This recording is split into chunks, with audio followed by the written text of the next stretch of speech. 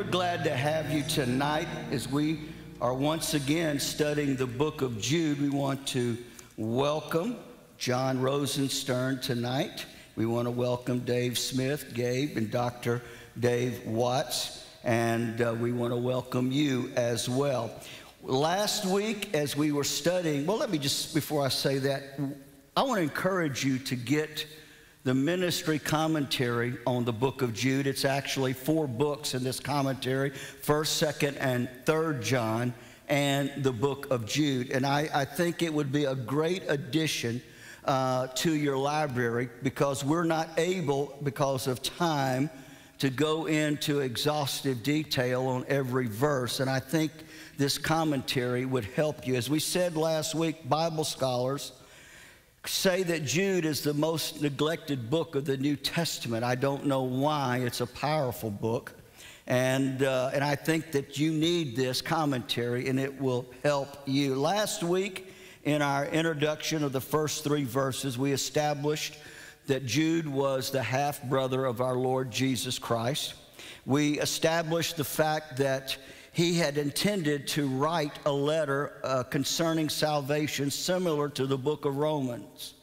But as he sat down to write, the Holy Spirit strongly moved upon him to change direction and to write what we now have as the book of Jude.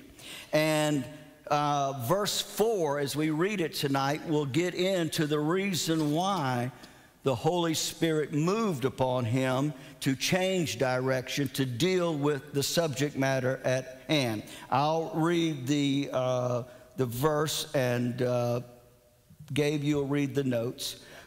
For there are certain men crept in unawares. False teachers had crept into the church. Who were before of old ordained to this condemnation, ungodly men they came in by stealth and dishonesty. However, their methods were by no means new. They would assume an outward expression of light, turning the grace of our God into lasciviousness. Refers to the fact that grace has been turned to license. And denying the only Lord God and our Lord Jesus Christ. If we deny the cross, which is God's plan of redemption, we are at the same time denying both the Father and the Son. Father, we thank you tonight for the opportunity to teach your word. We ask for your help, your guidance, your anointing. We pray that what we bring out tonight will be strengthening, will be enlightening, will be a help to the body of Christ here in the sanctuary and those by SBN. And we give you all the praise and all the glory.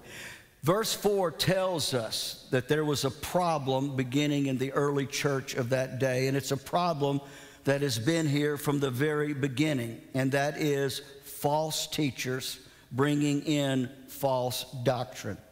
If Satan cannot stop the work of God externally, he seeks to infiltrate the work of God, the church, the body of Christ, to steer them in another direction. False doctrine is probably the greatest threat in the kingdom of God today. The greatest enemy is not the world, it's the world in the church. It's Satan infiltrating the church. He noticed, notice here he used some descriptive language. He said, certain men. Now, who these men were, we don't know. The Holy Spirit did not lead you to give us direction or information as to who they were. They could have been Judaizers, they could have been Gnostics, they could have been both, or it could have been another group altogether. But whatever was the problem, it was strong enough and serious enough that the Holy Spirit stirred the heart of this man who had sat down, as we said earlier, to write something else and strongly moved upon him to warn the church. And if he did that then, how much more is he doing that now? Because the fact of the matter is, because of technology, television, radio, internet, false doctrine has never infiltrated the church to a greater degree than it is today. And it's really not necessary for us to call names as to who is teaching false doctrine, even though there's a time and a place for that, and sometimes it has to be done. But really, the key is that you, as a child of God, the Holy Spirit expects you to have a close enough relationship with Him and to know the Word of God well enough for yourself that these false practitioners don't have to be identified by name. Hello? But they will be identified by the era that they teach, and you will recognize it as such. He used the term crept. That means to, uh, one of the meanings of that word crept is to slip in by a side door. And the idea of this, what is being said here, is that these false teachers, they slipped into the church under the guise of righteousness using all of the language and the terminology of the church born again, spirit filled, glory to God, hallelujah, all of this. You know, and you must never forget that, that all false doctrine, what makes it so seductive is that there's always a portion of truth attached to it. But only enough truth to take the believer that does not know the Word of God well enough for himself, only enough truth that they can begin to direct them down different paths. Any comments? Uh, you know, Charles Spurgeon famously said that one devil inside the church could do more damage than a thousand outside of the church. So when these uh, false teachers slip in, uh, slip in, like you said, uh, Robertson's Greek commentary described it that way as like slipping in through a side door. And false doctrine, I would agree, is the, probably the biggest threat to the church. And biblical illiteracy among churchgoers, among Christians, people don't know the Word of God, so they don't know any better. The, the only word they get is what they hear from their pastor on Sunday morning. Uh, there's a alarming statistics about how little people read the Word of God. Well, you, you know, do you realize there are some churches that tell their people don't bring your Bible? Yeah, yeah. Because the turning of the pages can disturb someone sitting close by you. Yeah. Or if they do bring a Bible, it is not really a word for word translation, it is a paraphrase and, and which, which is not the Word of God. And you, you can't know. That would be like a pilot at Delta when I get on the plane tomorrow saying that he just graduated from the paraphrase flight school. I'm sure there were some things left out, and I don't want to be on that plane. And, uh, but so this, this, and this idea of creeping in, as I was studying this uh, in, in the Greek, it has the idea of hypocrisy of someone uh, ad- addressing themselves. Like an actor would dress for a, a role, but he would put on a mask to play a part. And these false teachers, they, they dress the part, but they're wearing a mask. And the, and the thing about it, notice in the next part, it says they are, the Holy Spirit through Jude calls them ungodly. So you've got to understand something as the body of Christ. Anything that's not in the Word of God, anything that's not true to the Word of God, the practitioner or the proclaimer of that, the Holy Spirit calls them ungodly. So we're not talking about a little error here, but we're talking about something that can lead the body astray and actually lead them into bondage and even to the loss of their souls. That word for creep is paris duo. Yes. And the idea here also has to do with stealthiness. Yeah. One of the more popular movements that we've discussed over the years, the purpose driven life movement, its author used the very term that he brought his doctrine in under the radar, intentionally, yes, stealthily to bring it in, first of all, to subvert pastors and then bring their influence to their congregations. Purpose Driven Church was first written, then the Purpose Driven Life followed thereafter. The church book was for the pastors, the Purpose Driven Life was for the people. So when you start to look at their intentions, you begin to see what they're drawing out. Second Peter chapter, chapter 2 deals very much with Right. what Jude is doing with here. So you can almost read these as sister scriptures because of the things that they bring out. Peter says that they allure through the lusts of the flesh. And this is why the message of the cross is so important in this hour because it lets us really understand and discern the difference between what is of the spirit, what is of the flesh. And if your faith is in the wrong object, obviously the sensualness of false doctrine is going to draw one because it'll lure them It through the lust of the flesh. Yeah. It is, Proverbs called it the evil woman. The evil woman. Uh, Jo- George Williams, the Irish scholar, in this verse, he said this statement. I want to read it. He said, The apostasy of the last days will be both doctrinal and moral. The root, he said, of rebellion is self will. We're going to touch on that more and more as we go through these verses. We're going to see where pride and self will is one of the prime motives of the falling away. He said, This rebellion will not be abated, but will only get worse until the coming of the Lord. And I believe we're in those days of the greatest delusion that's coming. Uh, we saw, we've seen the, the, the, uh, the teaching of the grace revolution that swept the church. If, if you're a Christian, you never have to repent anymore. You don't have to tell the Lord you're sorry. All of this falls in to what Jude is talking about here. And, and then he said, turning the grace of our God into lasciviousness. That word lascivious is only used, I think, five times in the entirety of the Word of God, and it has a multitude of meanings. But the best meaning, as, as Jude is using it here, I, I think would be perverted faith perverted faith. And the idea is this anything that's not Christ and Him crucified is perverted.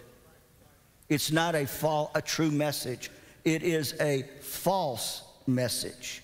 And it will not lead people to the Lord, it will lead people away from the Lord. You know, Donnie, you bring up a great point here because much of these church growth movements that we're discussing and have been discussing, they'll take the terminology of the Word of God, but they'll apply a different meaning to it. Neo orthodoxy. They will take a different meaning to it. So somebody that would read, I had Christians reading, for example, books like The Purpose Driven, and when they read it and they see the Christian terms, they take their understanding of Christian terminology and apply it, but that's not what the author's intention was. No, it- It's, an, it's designed to deceive. Think what Jesus said two things. We have to watch out for the wolves in sheep's clothing, and that's what this is here, these false teachers. They appear to be something they're not. Secondly, he said in Matthew chapter 24, four times he said, talked about deception. Beware that no man deceive you. Their intention is to deceive you, to lure you in, just as it says back there in, um, in Deuteronomy chapter 13 pertaining to false prophets. Also, when you look at other places, like in Ezekiel chapter 13, very clearly the Lord said they speak out of their own vain imaginations, but I didn't speak to them. And just because the false prophet said the reason they guaranteed that their doctrine was true was they said, Look at our following. So a lot of people will say, because we have a large following, that proves that what we're saying is right. That's not true. Yeah, the, the, the size of the crowd or the money or the prestige or the popularity is not the judge, it's the Word of God. Amen. Verse 5 I will therefore. Let me just throw something. I think uh, we see a large lack of discernment in the body of Christ. Uh, people are depending on a leader to uh, and just be a follower and not really have a good knowledge of the Word of God so that they can make their own decisions. But that's tremendously important in a believer's life. We need to know the Word of God ourselves. Well, the, the, Dave, you're right. The idea is so many, because I've heard them say it, that, you know, I work for a living, I've got kids in school, I got to get up before dawn to get my kids up, I got to work this life. So you just tell me what to believe. Yeah, And, and that would be great if everybody was telling the truth. right. But when we stand before the Lord, it's not going to be what brother so and so said. Mm-hmm. It's going to be what the Word of God said. And so these teachers, they, as Satan comes as an angel of light, mm-hmm. so too are his false teachers, masked in that mm-hmm. aura of light, of religious light. Mixing. We've talked about mixing multiple times, but mixing, and you mentioned, mentioned an element of truth, but mixing truth with, with error uh, is a tremendous uh, problem in the church today. Well, what it was, what was it that Lawrence said during camp meeting? If you get it half right, you've got it all wrong. Mm-hmm, mm-hmm. And the, how true a statement. Verse. Let, let me add one more thing to that before you go on to verse five. They may look like us, they may act like us, they may talk like us, but their speech is like a dragon. It's perverse. Yeah. And it's meant to destroy. Well, it's perverted faith. It's perverted faith. It's, it's, uh, it's,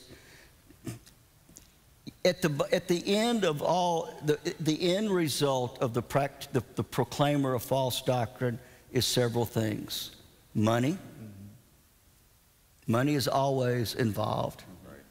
Control, always. Power.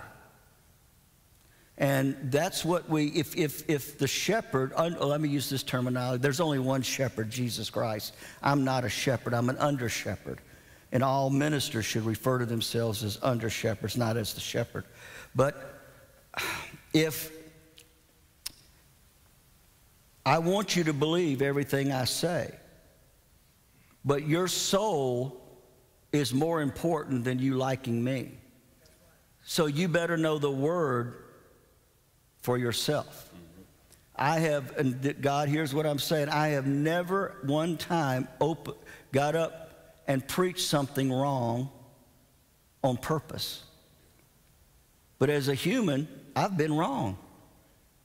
There are things that I believe today at 69 and preach that I preached it different 20 years ago.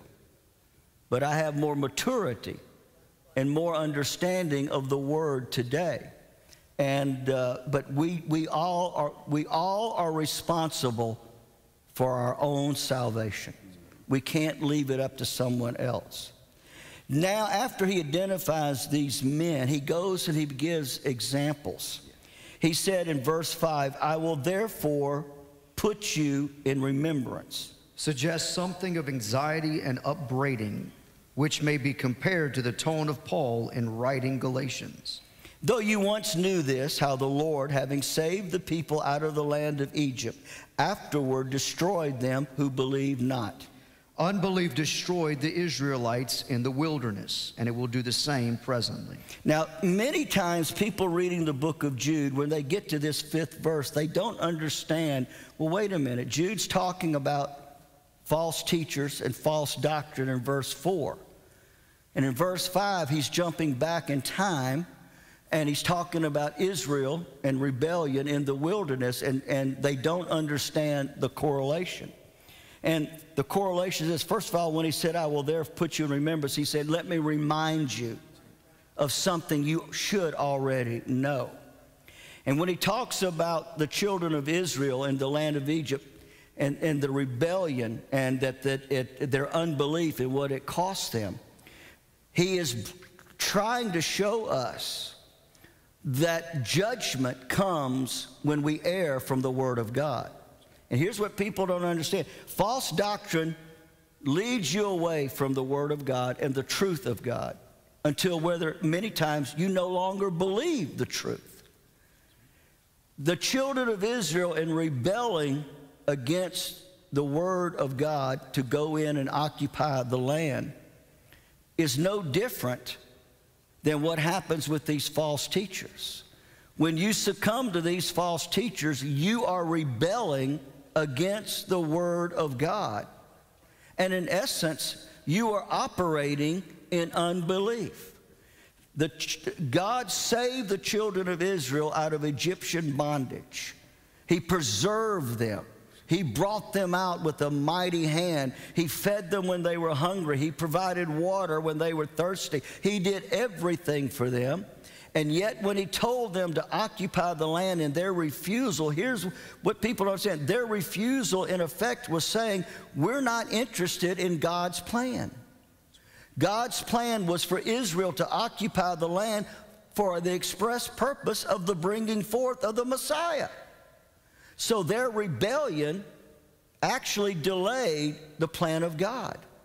and it cost them their soul. So he's trying to remind you that when you refuse to go God's way, there is a price to pay. And what was that price? Well, hold on, Donnie. In, in Hebrews 3.13, that bears it out perfectly. Israel failed to go in because of the deceitfulness of sin hardened their hearts. Their hearts. So when you get away from the way of God, your heart does get hardened. And there does come a place where you no longer want to desire the truth And that's what false doctrine does. It does. It pulls you away from the false covenant. teachers. They, they, they, you know, I saw some, this, this doesn't go along with necessarily somebody getting behind the pulpit and preaching.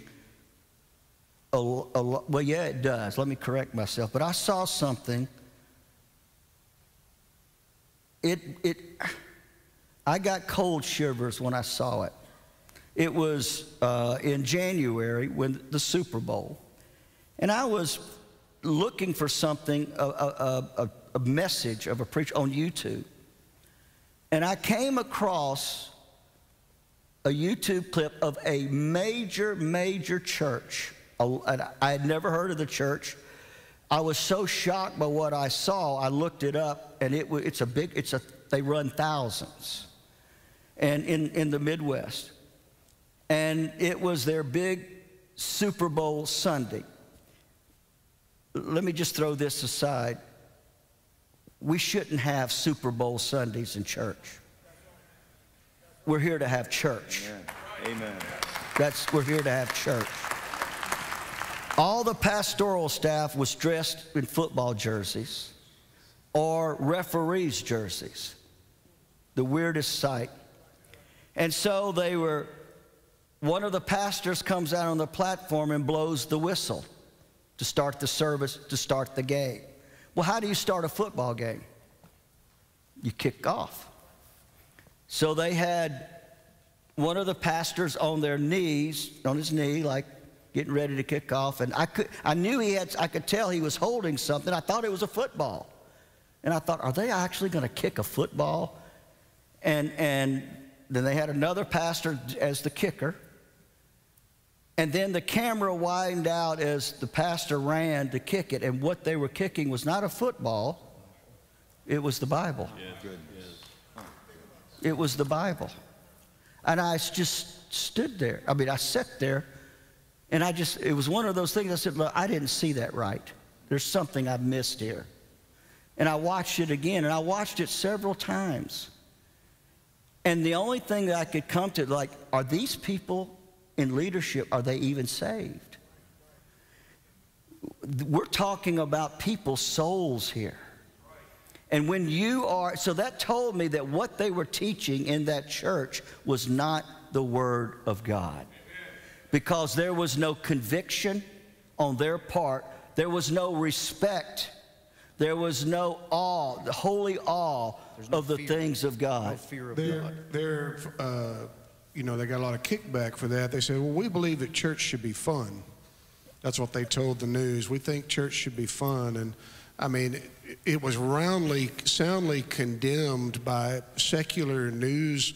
People showing it just couldn't believe that these people would kick off with the Bible. It made me think of uh, William Tyndale in the 1400s was strangled and burned at the stake for translating the Bible into English so that the common person could read it. And here we have people kicking the Bible. I mean, William Tyndale is one example of literally millions who have been martyred, who have been, who would just, even today in the world, people who don't have the Bible in their own language that would just want one page, one book. And here we are kicking it off like a football. I mean, it's just You unfathomable. have- You don't have church by denigrating the Bible. That's right. Well, that told me that what they were doing in that church was totally contrary to the way of God. So they are no different. They're in rebellion. And if, if, if repentance doesn't come, how many people, including the leadership of that church, is going to lose their soul? Because he made it very plain here. Afterward, destroyed them who believe not. And I'm just going to say it right now. I don't remember the name of the church, but they don't believe. They don't believe. This book is holy. This book is life. This book is God's revelation of his son to man. everything we need to live, and the last thing we need to be doing is kicking it. We need to cherish it. Amen.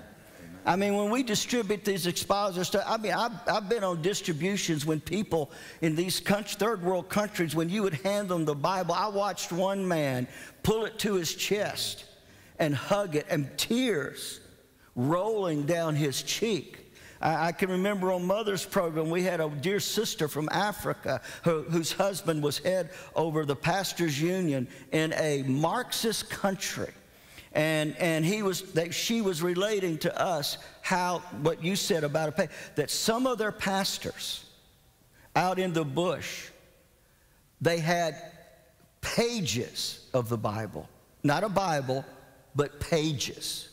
And they would meet up and trade pages so that what few pages they have could be circulated. And she said, when we went out there, and they couldn't, they couldn't afford Bibles. And she said that when we went out there and we distributed those Bibles, she said for the majority of those pastors, that was the first time in their born again experience they had ever had a complete Bible. And here we are treating it like an inanimate object. Ichabod. Anybody who had any spiritual discernment, when they kicked the Bible off, they should have stood up and walked out. I mean, there's no, I just don't see how any born again believer with any ounce of discernment could sit and, and be a part of that. I mean, I would have walked out. Well, you know, I'm, i may have a lot of flaws. Uh, and may be some things I don't do right but I will never do anything to bring shame or denigrate the Word of God, ever. It must be treated with, with respect and, and honor. And so destruction was the end result of Egypt. Destruction will be the end result of these false teachers and those that follow them. Verse 6 And the angels, which kept not their first estate, but left their own habitation. These particular angels did not maintain their original position in which they were created, but transgressed those limits to invade territory foreign to them, namely the human race. They left heaven and came to earth, seeking to cohabit with women, which they did. He, the Lord, has reserved in everlasting chains under darkness unto the judgment of the great day. These angels are now imprisoned and will be judged at the great white throne judgment, then placed in the lake of fire where they will remain forever and forever. These were, of course, uh, in the notes, Genesis 6 4. This is the story of the, the fallen angels, a few of them that came down and that they, they had relations with women, all for the express purpose to pollute the bloodline, yeah. which tells us that Satan has knowledge of the plan of God. And so these, these angels coming down, having relations with these women to destroy the bloodline, this is where the giants came from. Uh, they, they, they, this, this mongrel race, if you will, and it was all done to stop the plan of God. Now, let me ask this question. In, in 1 Peter chapter 3, we read, you know, where Jesus, when, and, uh, when he was in the tomb, he went down into Tartarus or Hades and, and he preached to the spirits. Now, I believe that, that these were the spirits he preached to, these fallen angels. Some, I'm saying I believe because some don't. But I, uh, these were, when we read that, this is what he's talking about. And the reason the idea, so the question must be asked well, why were these locked away and not the rest? Of the fallen angels? And that's a good question. But uh, the answer to that is very simple. Uh, angels were created for an express purpose, they were to be messengers of God. Their habitation was heaven. Heaven was created for them, one might say. Actually, heaven was not created for us. Our abode, our soul and spirit goes to heaven now, but our true abode is going to be the new heaven and the new earth. So it was, it was heaven was their habitation, but through rebellion, pride, they fell. They threw their lot in with Satan. this group, however many it was, had these relations with these women. The idea is this that they they entered into something that they were not created to do. It was unnatural. Even though I know most Christians don't, they think, you know, that angels, they, they don't understand angels having the ability to do this. But the, all the Bible says that they're not given in marriage. But it never says they don't have the ability to do what these fallen angels did. And so they did what was unnatural. They did what God did not create them to do. And the whole attempt was to stop the plan of God. Going back now to verse 4 and verse 5, all of these false teachers, Israel in the wilderness, that was all Satan's attempt to stop the plan of God. So never forget, all false doctrine in the church is devised by Satan to do two things to get us off track and to stop the work of God. And how sad it is when, in many cases, well meaning Christians get caught up in this and they are supporting that which is not helping the work of God, but is hindering the work of God. Then he said in verse 7 even as Sodom and Gomorrah and the cities about them in like manner. The Greek text introduces a comparison showing a likeness between the angels of verse 6 and the cities of Sodom and Gomorrah. But the likeness between them lies deeper than the fact that both were guilty of committing sin. It extends to the fact that both were guilty of the same identical sin giving themselves over to fornication and going after strange flesh. The angels cohabited with women. The sin of Sodom and Gomorrah and the cities around them was homosexuality. Are set forth for an example, suffering the vengeance of eternal life. Those who engage in the sin of homosexuality and refuse to repent will suffer the vengeance of the lake of fire. Now, the reason why Jude and the Holy Spirit is comparing the fallen angels that cohabitated with women and the sin of homosexuality is because both acts are unnatural. And they are against the nature of what God created us to be. God created the man and the woman to cohabitate, to, to join together in marriage, to bring forth children. The sin of Sodom and Gomorrah, the sin of homosexuality, is men with men, women with women, working that which is unseemingly and unnatural, and let's just say it this way perverted and ungodly. Homosexuality is one of the most crowning sins in the world today. And the reason why is, is because it's man's rebellion against God's divine order. It's his rebellion against God's divine order, first of all, of the home. God created, the home was the first institution that God created. Satan hates marriage. The strength of a nation is homes that are together. I, re, I, when, when, when President Johnson, I read this the other day, when President Johnson introduced the Great Society mm-hmm. with the idea of, of, of funneling now what is billions of dollars against uh, given to those that he called marginalized with the express purpose of trying to say that money could make people rise.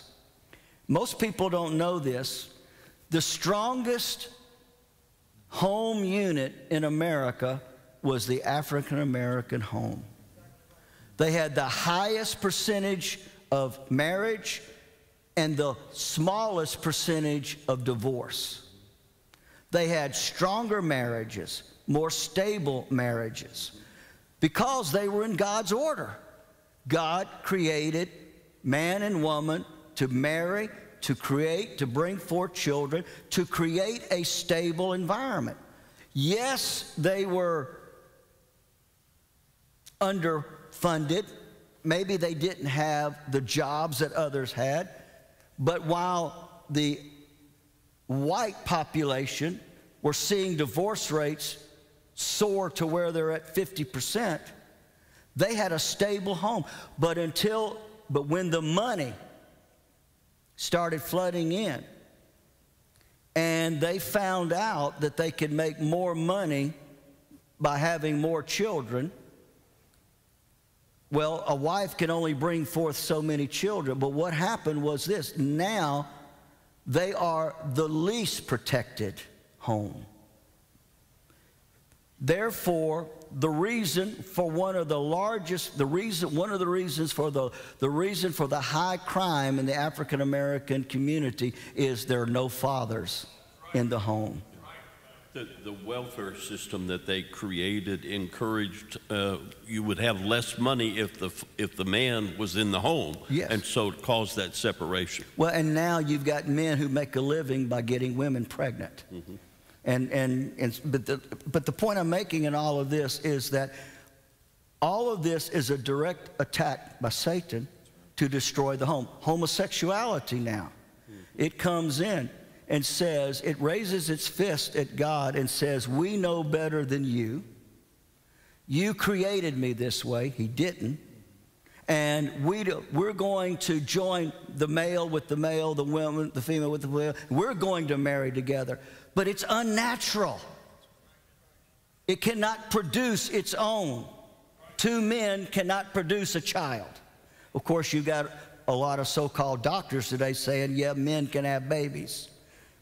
Transgenderism and all the list. And it's just, but the more, the, the more, the further out you get with this, the crazier you become until we have the transgender problem. And, and, and so he is tying the two together. And Dad brought out, I'm going to read something that, that Dad wrote in the, the commentary. This is the reason, one reason why you need to give it. He said, uh, under, under the statement, giving themselves over to fornication presents the type of sin committed by the fallen angels and the inhabitants of Sodom and Gomorrah. Some claim that adultery is unlawful relationship between those who are married, while fornication pertains to those who are unmarried. That is incorrect. The definition of adultery pertains to unlawful relationship between men and women, whether they are single or married. And yet, the term adultery is much more limited than the term fornication. In other words, now listen to this. In other words, all fornication is adultery, but all adultery is not fornication. Then he described, he gives that, he said, uh, fornication covers a wide spectrum of unlawful acts, unlawful according to the Word of God, and it encompasses the following adultery, whether the people are married or single, incest, idolatry and adultery respecting idol gods, harlotry, prostitution, spiritual harlotry. Paul addressed that. And in the book of Romans, how many in the church today are committing spiritual adultery? And then homosexuality. Homosexuality is, is fornication.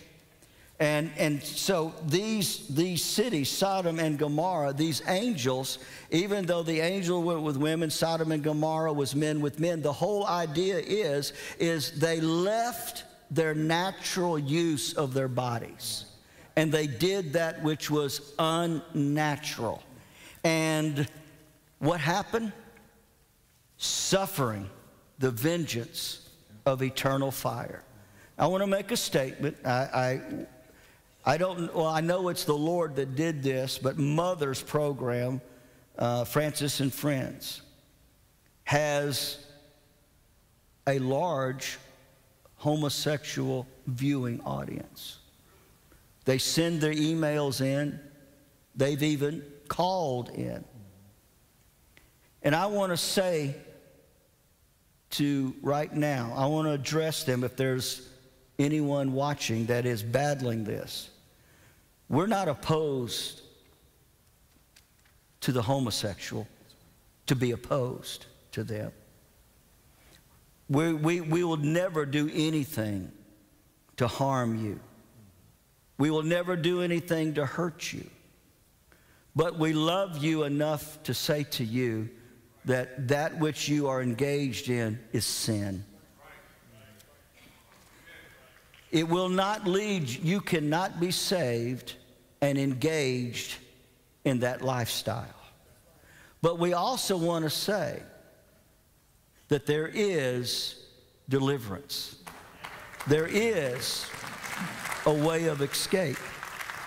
When Jesus died on the cross, he died to atone for every sin, no matter how despicable it may be. And he died to break every bondage, no matter how vile and how gripping. And the, the bondage of homosexuality is even worse than the bondage of drugs and alcohol. But God can set you free. Yeah. He died to set you free. You know, the word lasciviousness, aselgeia in the Greek, also means debauchery. Yes. Unbridled lusts. Perversions. It gets worse and worse. It doesn't stay static. It gets deeper and deeper. So one that doesn't come out of it will find themselves getting deeper involved in these things. The end result of this lifestyle is eternal damnation. So we love the homosexual community enough to tell them what you're doing is sin. But God can set you free. Verse 8 Likewise, also these filthy dreamers defile the flesh. Jude likens these false teachers to filthy dreamers and refers to their doctrines as being the fruits of mere imagination and fancies. They despise dominion. They refuse to live by the word of God, but rather fabricate their own religion. and speak evil of dignities. Refers to reviling the word of God and more particularly Christ and the cross. Now, notice what the Lord he called them earlier ungodly. Here he calls them filthy dreamers. And what the idea of this, of this term, filthy dreamers, is that they create scenarios in their mind to deceive you. And then they present those scenarios.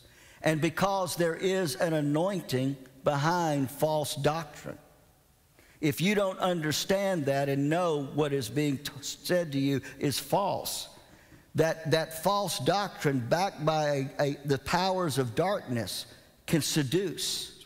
It appeals to the flesh. And, and so, you know, this is not my terminology. This is the terminology of the Holy Spirit. He's saying here, Jude, through Jude, that all false teachers are filthy dreamers. That's what God thinks of them.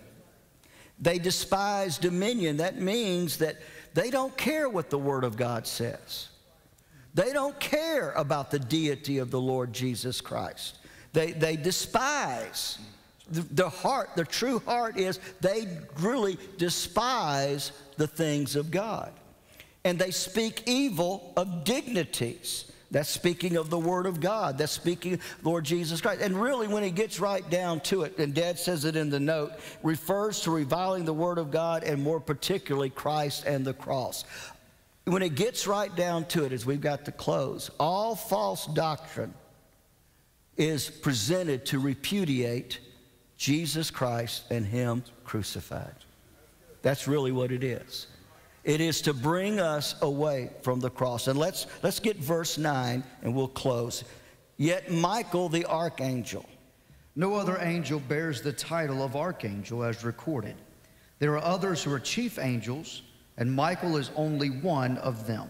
when contending with the devil, he disputed about the body of Moses. After the death of Moses, Satan demanded the body of the lawgiver, which was denied him by Michael the archangel, Did not bring against him against Satan. a railing accusation, but said, The Lord rebuke you. A railing accusation would have placed Michael on the same level with the devil, to which the great archangel would not stoop, and rightly so. When he says archangel, that word archangel means first in rank or chief of angels. So it tells us that Michael is a mighty angel. And the, the situation that Jude is talking about here, you can read it in Deuteronomy chapter 34. When Moses died,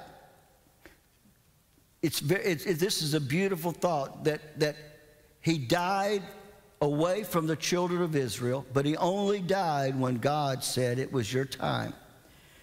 But we find in Deuteronomy that God officiated his funeral.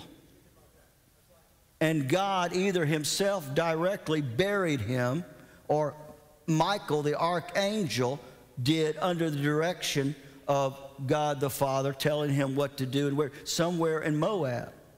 And so the idea is, first of all, what was this disputing about the body? Well, Satan wanted the body of Moses. And the reason for it was this the children of Israel, having been in Egypt for so long, they were used to idols. And they were prone to worshiping idols. We saw that with the golden calves. That's the first thing they did. And so it seems it was the plan of Satan if I can get this body, I can display it. And the children of Israel will begin to worship it and make an idol out of it. That tells us that, that are there idols in the church today? Yes, there are. Your favorite preacher can be an idol. Your church can be an idol. But we have no other gods before us. We thank God for good churches. We thank God for good preachers. But Jesus Christ is the Lord. And nobody else. They've got to close with this. Did not bring a railing accusation. The whole idea in this is that Michael, and you need to get this, Michael the archangel knew the ground that he stood on. And the ground that he stood on was the authority of the name of Jesus Christ. Therefore, he didn't have to get into an argument and a screaming match with the devil. He just said, by the authority of the Word of God and the power of God, Satan, you are rebuked. The Lord rebuke you. Don't have a conversation with the devil, just rebuke him in the name of Jesus. Amen. You don't have to get down and scream at him and do all of this stuff. Don't get down on his level but stand on the level you are. You are a child of God, bought with a price, your name written down in the Lamb's Book of Life. The Holy Spirit lives inside of you, and use the authority that's been given you. But you've got to understand where that authority comes from. It doesn't come from us, it comes from the Lord Jesus Christ. We'll pick up next Wednesday night with verse number 10. Did you learn anything tonight? Did you enjoy this? Let's all stand and have a word of prayer. Father, we come before you tonight in the name of your Son, Jesus. And we thank you for the opportunity to gather together as the body of Christ. And we pray that that which we have brought forth is a blessing to the people and that when we're through that they will have a greater understanding of the book of Jude and that they will understand what the word of God is and has for them. We give you all the praise and glory in Jesus' name. Everybody said, Amen. Turn around, shake hands with someone. We'll see you Sunday morning.